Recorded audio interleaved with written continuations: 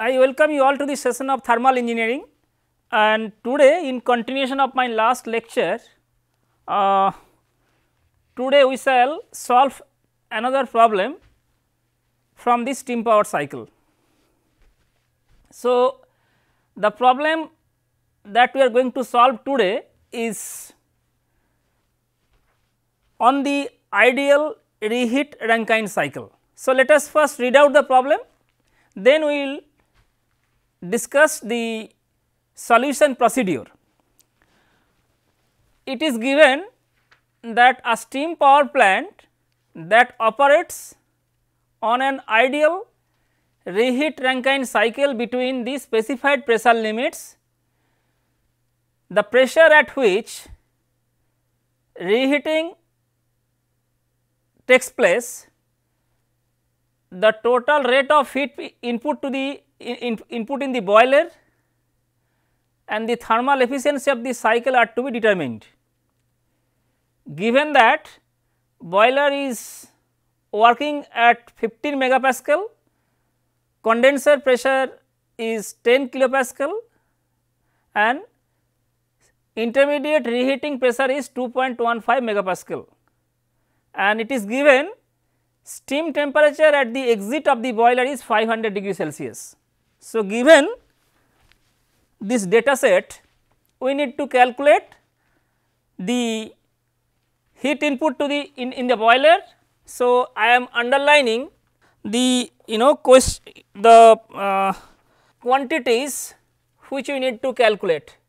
One is heat input to the so this is heat input in the boiler, thermal efficiency of the cycle these two. So, if we start solving this problem from here,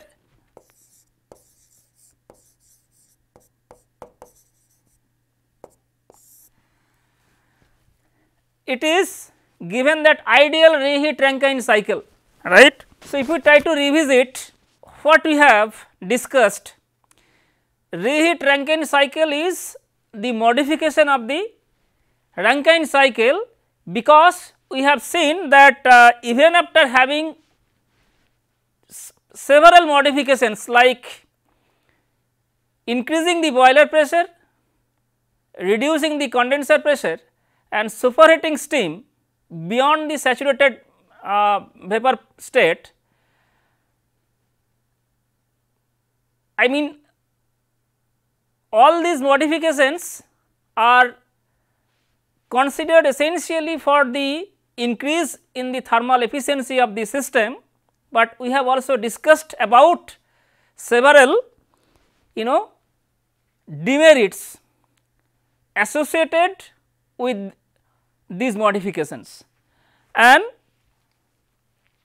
out of these three important modifications we could discuss superheating steam beyond point 3 that is the state point at the inlet to the turbine. If we can superheat this steam, efficiency can be increased.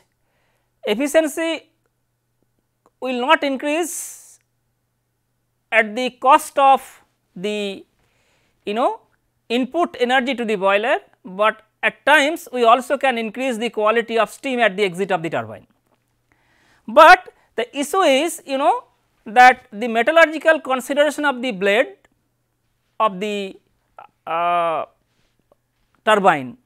So, if a turbine blade material is uh, design I mean is uh, available which can withstand such high temperature without inviting any operational issue like generation of thermal crack then uh, superheating steam could be an ideal way of increasing the thermal efficiency of steam power plant.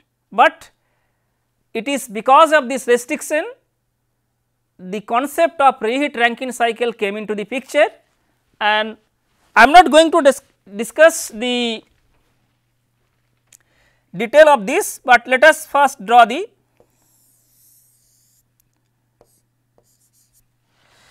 you know uh, schematic. So, this is you know Q in I am taking that uh, per unit mass flow of the working substance per unit mass flow rate of the working substance and then we have high pressure stress turbine and after it does work in the high pressure stress turbine steam is taken to the low pressure stress turbine and eventually we are getting W out. So, this is low pressure stress turbine.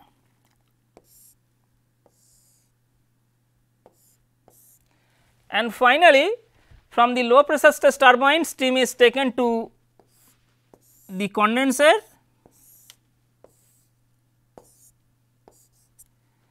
Wherein heat is rejected to the media which is circulated and then the collected condensate is pumped back to the boiler.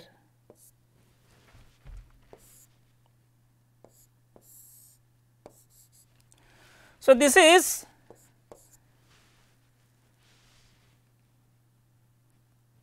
the place wherein we need to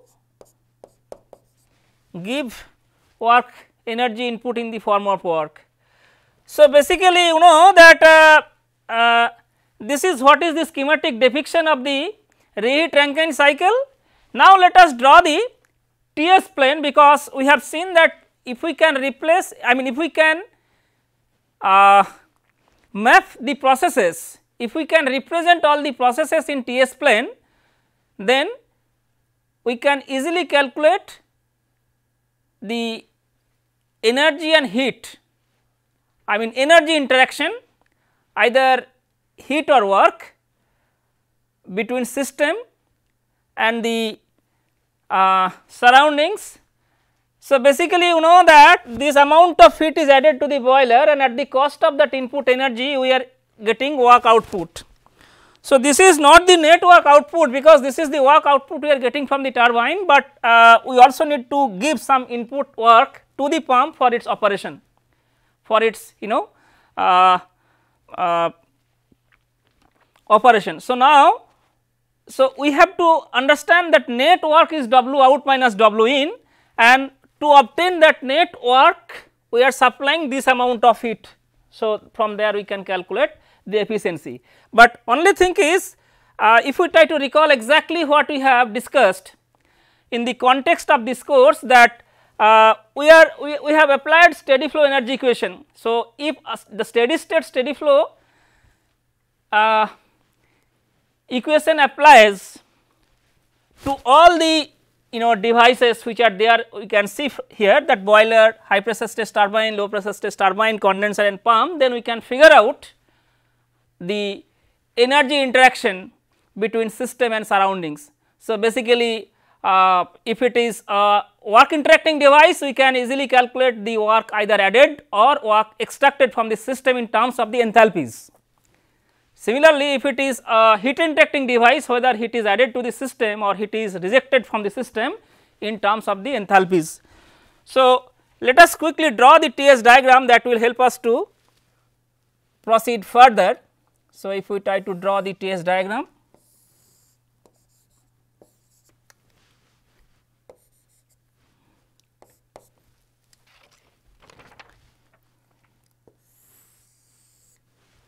okay. So, this is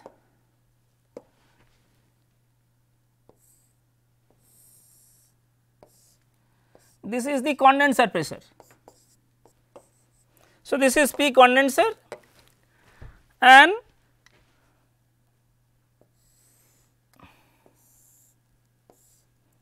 So, this is P boiler.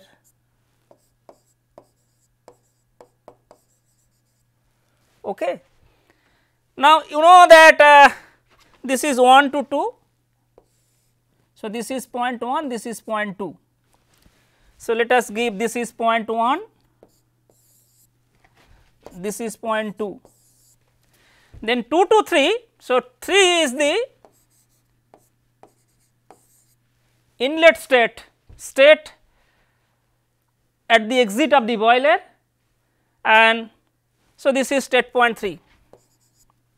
Now, from 3 to it is given that you know that we have learned from previous discussion that you know steam is allowed to expand in the high pressure stress turbine up to an intermediate pressure and that pressure is given 2.15 megapascal. So, let say this is the pressure. And then it is again reheated you know after doing some work steam is taken back to the boiler and it is allowed to pass through this heating coil. Wherein again upon receiving heat it, it, it is heated and it is heated up to the temperature of the initial superheat. And then finally it is so this is 3 to 4, 4 to 5 and 6.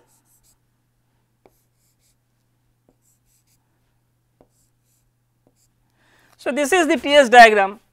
So, what we can see one thing which is not given in the problem statement that is we are taking steam. So, we are what is what it is what is done here steam is allowed to go into the high pressure stress turbine. After doing some work it is taken back to the boiler for further reheating and it is reheated at an intermediate pressure. So, basically you know when when steam is doing work in the high pressure stress turbine pressure will fall. So, this expansion is allowed up to an intermediate pressure that is 2.15 megapascal. So, that is P 4 equal to P 5 these two points are on the same pressure line. And so basically this is 0.4 and this is 0.5 and this is 0.6 right? And you know that uh, it is steam is expanded up to state point 4 and then again upon receiving heat in the boiler it is super it is heated reheated. But it is not given up to what temperature it is reheated. So, this is very important if nothing is given in the problem statement what we have learned we have learned that usually steam is reheated up to the initial superheat temperature basically. So, you can understand 3 is the superheat temperature before it enters into the turbine. So, that reheating is continued until the temperature becomes equal to the initial superheat temperature that is T3. So, that is very important T3 equal to T5 that is what we have learned from the reheat Rankine cycle right. If if this reheating temperature is given that is good and that is well and good, but if it is not given then we have to assume that this reheating is done up to the initial superheat temperature that is T3 and when it enters into the low pressure stress turbine it again you know expands isentropically up to the state point 6 and it does work and finally you are getting you understand the turbine blades in both the high pressure stage and low pressure stage turbines are connected to a common shaft. So, from there we are getting work output. So, this is what is very important I think we have understood. Now, let us move to see the uh, calculation steps. So, you can understand easily we have from our previous uh, discussion as well as the problem we have solved in the last class, point 1 is on the saturated liquid line and that is this is 10 kilopascal that is what is given. So, this is 10 kilopascal and this is 15 megapascal. So, if we go to the next slide P 1 equal to P 6 equal to 10 kilopascal and H 1 equal to H f at 10 kilopascal and that you can easily get it from steam table. I am not going to show the steam table today because what you need to go? You need to go to the saturated water pressure table or temperature table. Let me tell you one thing here pressure is given 10 kilopascal. So, we can easily calculate the enthalpy at state point 1 that is nothing but enthalpy of saturated liquid corresponding to 10 kilopascal. Instead of pressure if temperature is given then you also can calculate enthalpy at state point 1 which is saturated enthalpy corresponding to that temperature. So, this is very important that we can understand point 1 is on the saturated liquid line. So, we can easily calculate and that is 191.81 kilojoule per kg and also specific volume that is Vf at 10 kilopascal and that is equal to 0.00101 meter cube per kg. See let me tell you uh, though it is all the processes which I have tried to show in this TS plane are not drawn at per scale, but still if you uh, look at the TS diagram you can see that uh, temperature at point 2 is slightly higher than temperature at point 1. So, ideally let us uh, here draw. So, basically this is the constant pressure line and this is the another pressure line. So, this is point 1 this is point 2. So, you can understand the temperature at point 2 is greater than temperature at point 1. The, the state at 1 is saturated liquid that is again incompressible. So, we are taking we are pumping. So, we are pressurizing that liquid to increase its pressure so to develop pressure, but this is incompressible. So, you know rate of you know volumetric dilation is 0 we cannot compress it.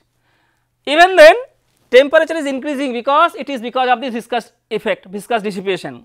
So, this is not a heat interacting device this is a work interacting device and that too the process which I have tried to rather we have seen this process is isentropic process you can see from this TS plane that is reversible adiabatic process. So long as the process is reversible entropy generation is equal, equal to 0 and the process is not interacting with the surrounding in terms of heat. So, when water is taken to the pump and by receiving energy in terms of work it you know uh, its pressure is increased, but it is not interacting with the surroundings in terms of heat. Even then we can see a slight increase in temperature that is because of this viscosity. So, find that we got. So, basically we can calculate that work pump that equal to V 1 into P 2 minus P 1. So, this is VDP it is not PdV. So, again let me discuss something that whether the process is reversible adiabatic or the process is reversible isothermal. So long as the process is steady, steady state steady flow process irrespective of the process the work done expression is VDP minus VDP that we have you know discussed. So, if we try to calculate it, uh, it is not a PdV work.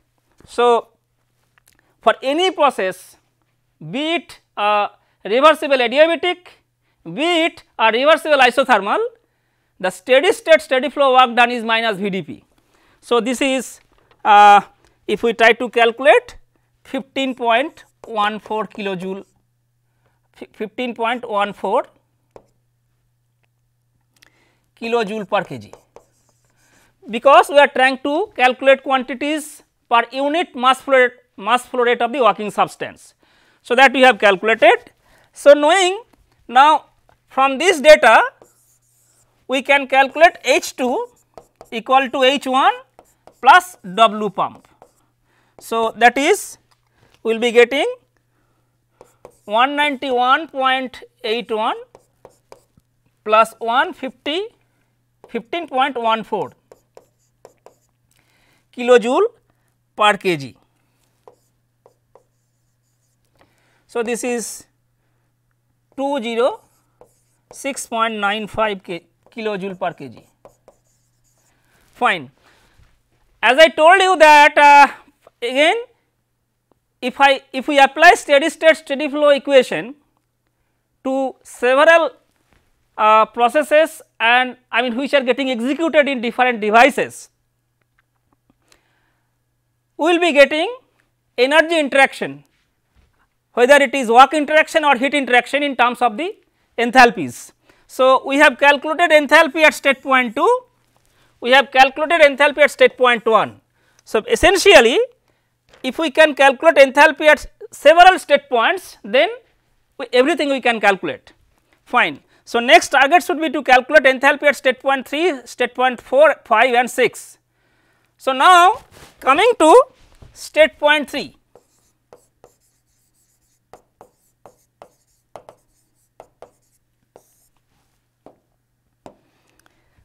State point 3. So, this point is T 3 is given 500 degree Celsius, P 3 is given 15 megapascal. See again we can we can find it from steam table that at that pressure what is T g? If T g corresponding to 15 megapascal is less than T 3 then definitely T 3 will be in the superheated region. So, basically T g at 15 megapascal we have to calculate from steam table.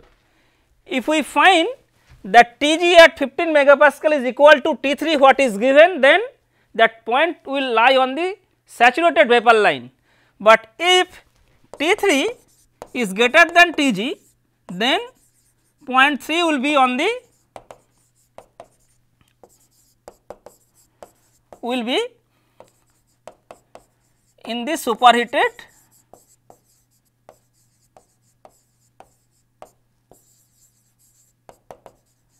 regime.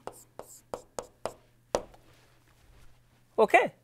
So, now if it is in the superheated regime why I am telling this is very intuitive, but I am telling because if we you know know that the point 3 is in the superheated regime by looking at the superheated steam table at that pressure we can calculate enthalpy and that we will be getting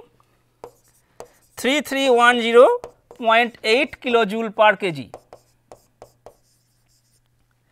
and also we have to calculate entropy and that is 6.3480 kilojoule per kg Kelvin. if you look at steam table you will find T g at 15 MPa is less than T 3 it implies T 3 the point 3 is in the superheated regime and T 3 you can calculate by looking at the superheated steam table. So, not only uh, I mean uh, H 3 and S 3 you can calculate uh, from the superheated steam table. So, I am writing from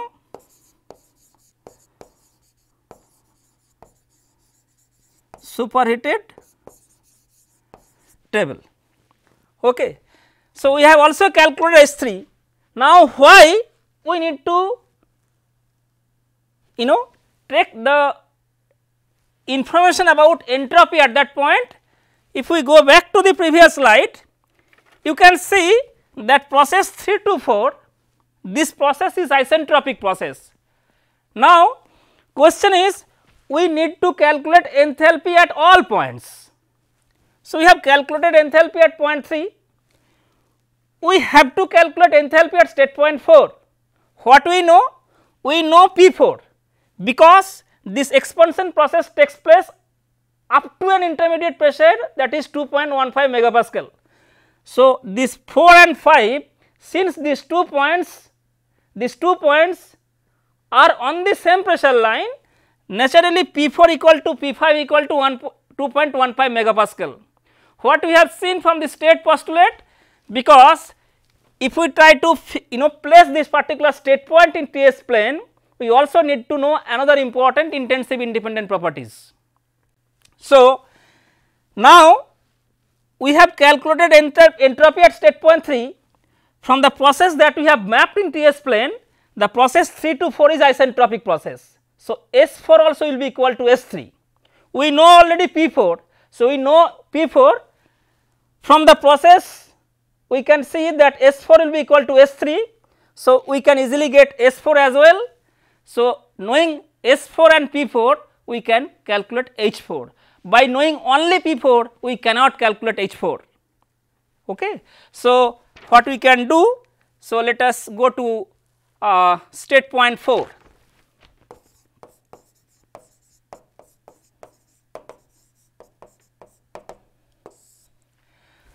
So, let us write process 3 to 4 is an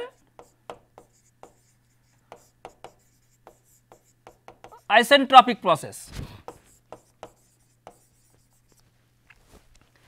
And S 4 will be equal to S 3 and that is that is 6.3480 kilojoule per kg Kelvin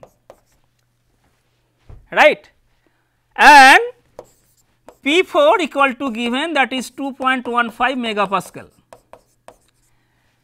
Now, let me tell you one important point. What we can do next? we know the pressure. So, again we can go to the superheated table. Initially what I what we can do? We can go to the saturated water pressure table, right. By looking at the saturated water pressure table at that pressure, if we try to find out what is Sg. So, I am telling you the procedure steps. So, basically at this pressure if we try to find out what is Sg that is entropy of this saturated vapor. If we find that the entropy S 4 is greater than S g, there is no doubt that 0.4 will be in the superheated regime. Let me tell you once again. See, we have drawn it. In fact, I have drawn it without knowing whether 0.4 will be in the superheated regime or 0.4 will lie on the saturated vapor line. We had no clue before to place this particular state point in TS plane, but now time has come by how? Because we know pressure. So, at that pressure if we try to find out the saturated entropy from the steam table, even by looking at the saturated water steam table, if we calculate what is Sg and if this S 4 is higher than S g, then we can ascertain that 0.4 should be in the superheated regime. So, step is to check S g at 2.15 megapascal. If S 4 is greater than S g, then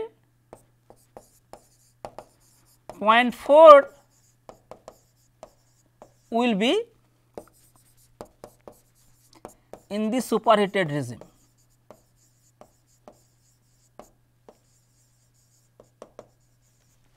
Right? It is seen because I have you know drawn it correctly. So, S 4 is greater than S g and this is in the superheated regime. Okay.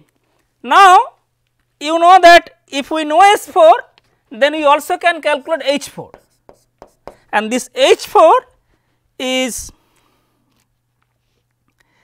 uh, 2817.3 kilojoule per kg. So, this is H 4. Let me tell you one important another impo another one important point.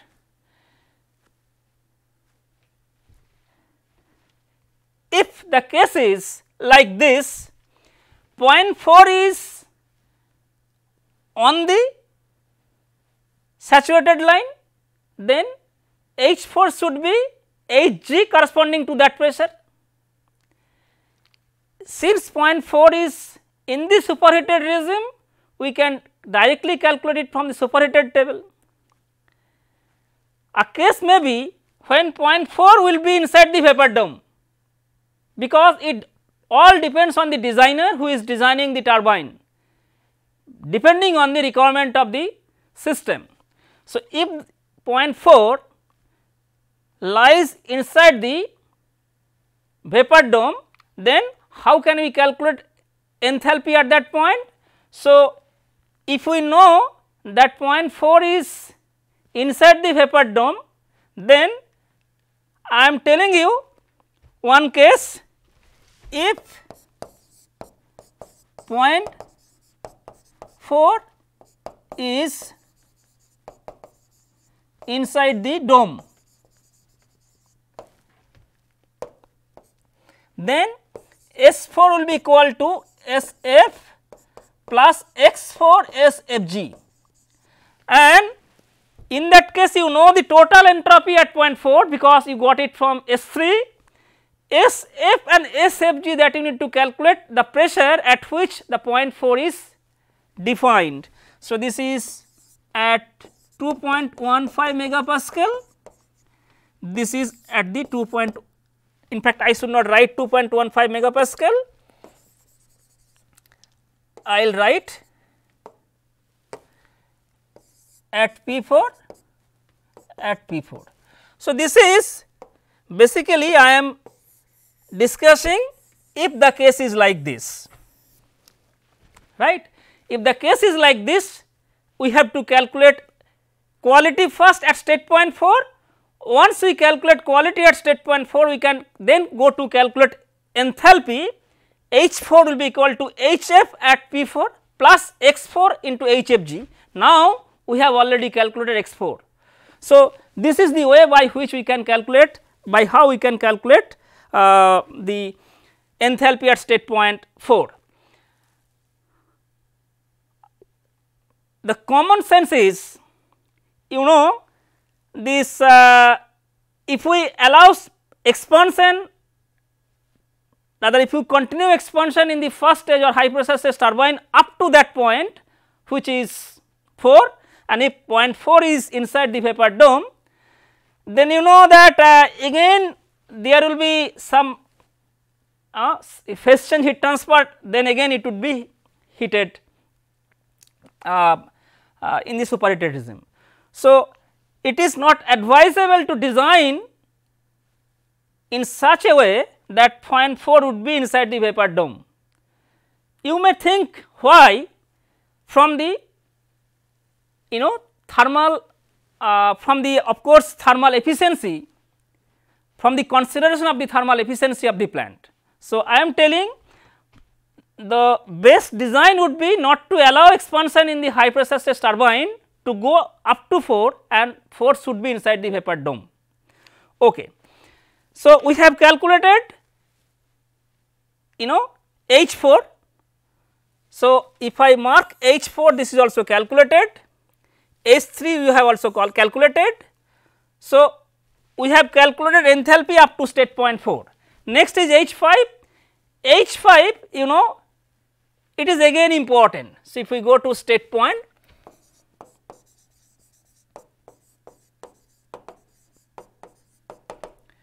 state point 5. So, you know P 4 equal to P 5 equal to 2.15 megapascal. Okay. So, this is given. Now, what I was talking about few minutes back that only one property is not good enough to give you another properties from steam table until and unless you know at least another one property. So, what we need is another one property. So, we need to go back to the problem statement. You know that this is given. So, that means steam is taken back to the boiler and it is reheated again up to the initial superheat temperature that is T 3. So, that means T 5 T 5 equal to T 3 equal to 500 degree Celsius. Now, again you can look at superheated table what we can do we can find out the uh, temperature at this pressure what is T g. If T g is less than this T 5 then 0.5 will be in the superheated region. So, from the superheated table let me write the you know value. So, basically P 5 H 5 is 3466.61 kilojoule per kg. So, what we can do at that pressure we can find out what is T g and from knowing T g rather knowing T g we can see if T g is less than T 5 then definitely H 5 I mean 0.5 will be in the superheated regime and we can go to the superheated table to calculate H 5. So, ideally we also have calculated H 5. Next is H 6. So, state point 6 and you know that state point 6 is process 5 to 6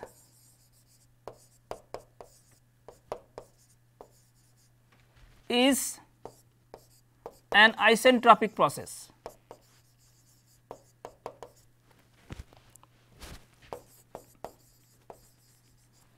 So, what we can do? Here we, we also can calculate what will be S, S5 because S6 should be equal to S5 right? And S6 equal to S5 that we can calculate uh, there are so there are two ways what we can do. We can calculate S5 we can by calculating S5 we also can calculate S6 because that S6 will be equal to S5. Now, if we go to the TS plane we can see the point 6 is inside the vapor dome. So, that S6 will be equal to SF plus X6 into SFG. SF and SFG that we know from because that we can calculate it, calculate because we know the condenser pressure 10 kilopascal right that way you can do. So, let me write now that equal to S 5 plus x 6 into SFG and that is at 10 kilopascal right. So, we can calculate S 5 from the steam table. Since the process is isentropic process S 6 should be equal to S 5 and S 6 is nothing but SF at 10 kilopascal equal to x 6 into SFG and if we calculate that S should be equal to S 6 equal to 0.6492 plus x 6 into 7.4996 and this S 6 equal to 7.3988 right. From there we can calculate x 6 equal to 0.9 right. So, this is 7.3998 kilojoule per kg Kelvin right. So, this will come here. Okay. Now, since we have calculated x 6 we also can calculate what would be the H 6. So, H 6 will be equal to H 1 at 10 kilopascal plus x 6 into H f g at 10 kilopascal and if we plug in the value that is 191.81 that we have calculated very in the beginning because when we have calculated pump work we have calculated that is 191.81. So, let me write here and this is 0.9 into this is you know uh, 2392.1. So, this quantity is kilojoule per kg.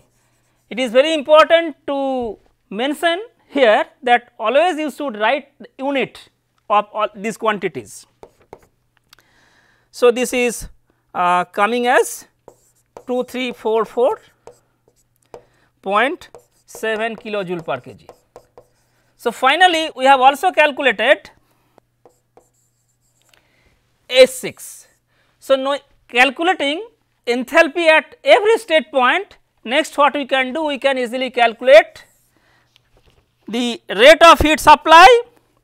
So, rate of heat supply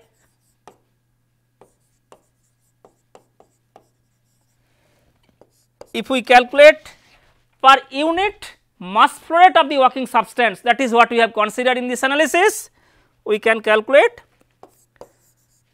H 3 minus H 2 plus H 5 minus H 4. Why? So, if we go back here, so we are supplying H 3 minus H 2 initially and again steam is entering at state point 4 and leaving at state point 5. So, H 4 H 3 minus H 2 plus H 4 minus H 5 H 5 minus H 4.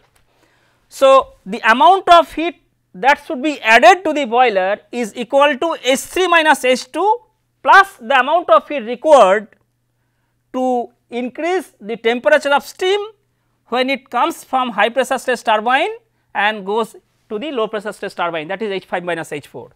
So, uh, if we calculate here and then we will be getting that is uh, I mean we can uh, we know that H 3 equal to 3310.8 H 3 minus H 2 is 206.95 plus H 5 H 5 3466.1 61 minus 2817.2 that is the. So, this is the unit should be unit should be kilojoule per kg. Okay. So, this is per unit mass flow rate of the working substance that is rate of heat supply. So, this is one part and another part is thermal efficiency.